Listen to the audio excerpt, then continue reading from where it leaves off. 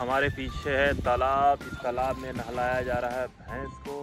और कारण ये है कि भैंस बार बार कादों में बैठ जाता है तो उसको धोना पड़ता है। अच्छा। अभी धूप धो दिया ने? अब बनेगा कादो में लेट जाएगा। अच्छा ये उसका आदत है? आदत है हाँ। तो रोज तीन बार नहलाता हाँ, है रोज तीन बार। तो, तो आपको भी नहाना पड़ता होगा तीन बार? हाँ हाँ साढ़े क्या? तीन सौ- साढ़े दिन में फुसी हो जाता है पानी से। कितना मवेशी है आपके पास? तो है दो-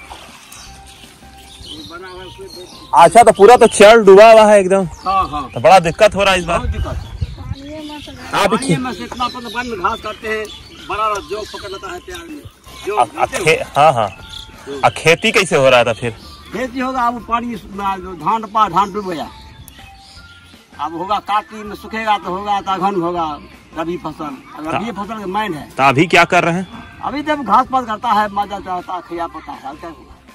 अच्छा मतलब अभी मतलब जानवर ही का भी सेवा चल रहा। हाँ है। हाँ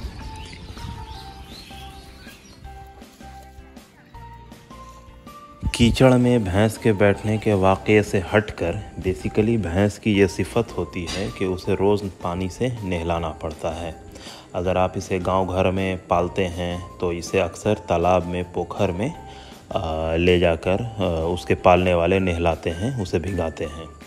अगर आप इसे अपने निजी घर में या शहर में या किसी भी जगह पालते हैं तो इसको अक्सर बोरिंग से या पाइप लगा के इसे नहलाना पड़ता है। तो ये भैंस की सिफत है कि दिन भर में अगर इसे एक आध बार नहीं नहलाया जाए तो ये बीमार हो जाएगा। हो जाएगा या हो जाएगी। बहरहाल तो ये आज मैंने एक खूबसूरत सा नज़ारा जो गाँव में देखा तो सोचा आपके साथ शेयर कर दूँ। तो ये रहा बाकी भैंस के ऊपर कौवा बहुत बैठता है और उसकी भी बहुत सारी वजह है।